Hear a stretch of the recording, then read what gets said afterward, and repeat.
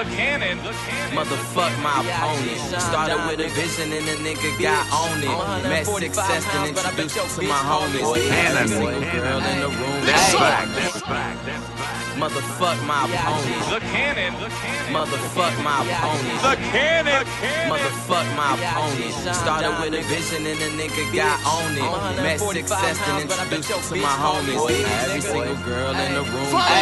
Hell yeah, I hope they hearing us. I'ma want the beef, broccoli, and asparagus. Tell them rich folks they could couple up a chair with us. They could show up brag, but I know they can't embarrass us. and motherfuck the opposition. Yo, bitch wanna make a proposition. Remember when a nigga barely had a pot to piss in? Now I'm on my paper, Mr. Composition. Excuse me, what competition? To me, that word is non existent.